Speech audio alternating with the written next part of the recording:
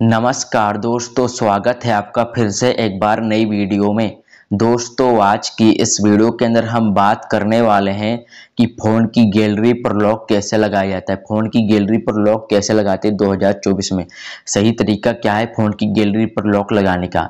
दोस्तों, मैं आपको बताऊँगा कि बिना किसी ऐप को डाउनलोड किए प्ले स्टोर से फ़ोन की गैलरी पर लॉक कैसे लगाया जाता है।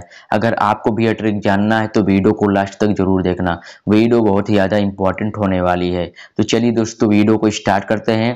और वीडियो को स्टार्ट करने से पहले अगर आप हमारे यूट्यूब चैनल पर नए हो तो चैनल का एक बार ज़रूर सब्सक्राइब कर देना और बेल आइकन को प्रेस कर देना और वीडियो को एक लाइक ज़रूर कर देना। अब फ़ोन की गैलरी पर लॉक लगाने के लिए सबसे पहले क्या करना है दोस्तों, आपको अपने फ़ोन की सेटिंग को ओपन कर लेना है। अब यहाँ पे सेटिंग ओपन हो जाएगी, स्क्रॉल करके नीचे आना है और यहाँ पे आपको प्राइवेसी वाले ऑप्शन पे क्लिक कर देना है तो आपके सामने प्राइवेसी वाला पेज ओपन हो जाएगा। और दोबारा आपको स्क्रॉल करके नीचे आना है और यहाँ पे आपको ऐप इंक्रिप्शन पे क्लिक करना है।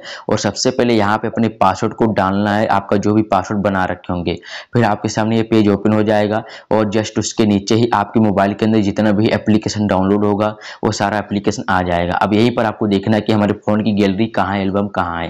तो दोस्तों, यहाँ पे हमारे फ़ोन की गैलरी आ चुकी है। अब इसके सामने एक सेटिंग है। मैं इसको ऑन कर देता हूँ। जैसे आप इसको ऑन करोगे, आपके फ़ोन की गैलरी लॉक हो जाएगी और आपके अलावा आपके फ़ोन की गैलरी और कोई ओपन नहीं कर पाएगा, केवल आप ही ओपन कर पाओगे। अब यहाँ से आपको बैक आ जाना है। अब दोस्तों, यहाँ पे मैं फ़ोन की गैलरी ओपन करता हूँ अपने मोबाइल की स्क्रीन पर तो यहाँ पे पासवर्ड दिखाई दे रहा है।